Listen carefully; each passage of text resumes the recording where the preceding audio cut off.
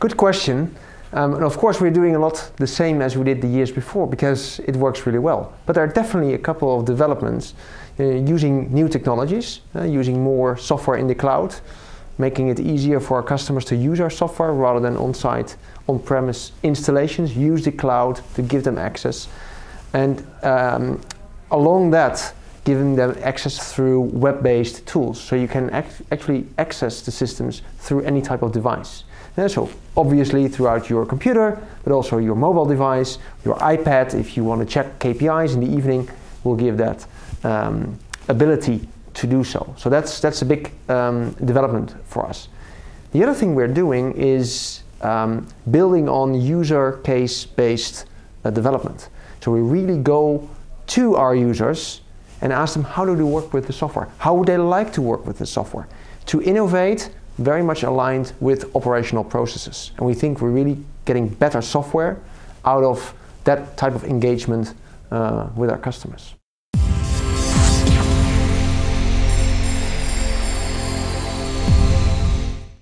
Yeah, where we have seen in the past uh, many developments being greenfield. Uh, so the majority of automation projects have been based on greenfield sites. What we're now seeing taking off is retrofitting existing facilities, um, deploying new technologies to make those denser, faster, safer, and, and more consistent. So, and I, I expect that will really take off 2018 and the coming years. It's a very big uh, development. Um, the other thing that, that is on the verge of happening, and I'm not sure whether it will be 2018 or it will take a bit longer, is mixing manned vehicles and automated vehicles inside a terminal environment. Think of road trucks that are engaging with automated trucks. And uh, there's a lot of safety concerns around that. Uh, technology is still in development, but definitely a bit big demand for it and also uh, high potential upside. So that's definitely going to happen. Question is timing.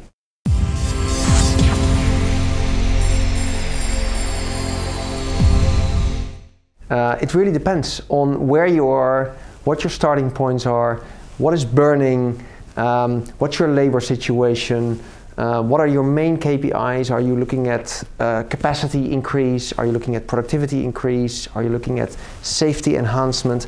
So it really depends. So there's not one answer uh, to that question. Uh, you really have to look at the situation and then make a business case. What really pays off, depending on the KPIs you're after, pays off, give me, uh, gives, gives me as an operator the quickest return on, uh, on my investment.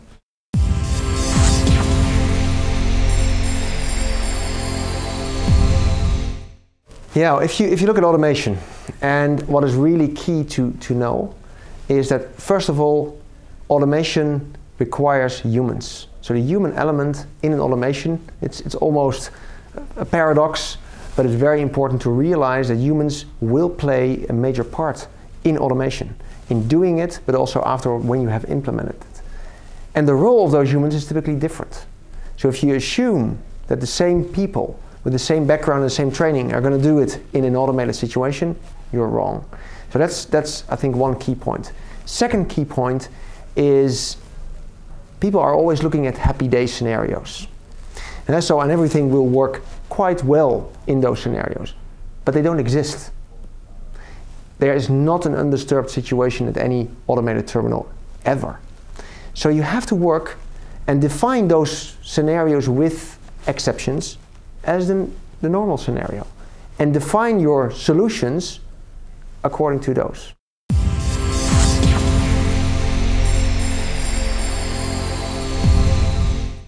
Yeah, of course, we have uh, just spent two days at the PTI conference talking about AI. And, and if one conclusion can be drawn there, there's a long way to go. And at the same time, I would say there's huge potential. Um, ports are gathering um, large amounts of data, which is a prerequisite to, to really make AI useful.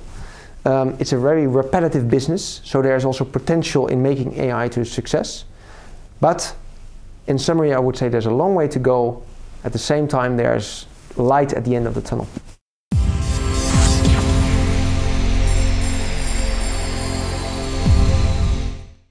I would say sharing information. Um, this is this is a problematic. A lot of topics also during the PTI conference went about collaboration, sharing information, and that's inherently complex because of the different interests of stakeholders. So a lot of hurdles. If you look at blockchain, if you look at um, collaborative planning, it all stumbles with sharing information. Uh, second thing that, that should be made better and that will also benefit from sharing information is data quality. Data quality is an enabler of AI, is a prerequisite for successful AI because if you have garbage information which you base your algorithms, it's going to be garbage as output as well. So you, quality of data is really important and sharing information will, will drive that. The last thing I would like to say, and, and this is again in the automation area, quite difficult, is standardize.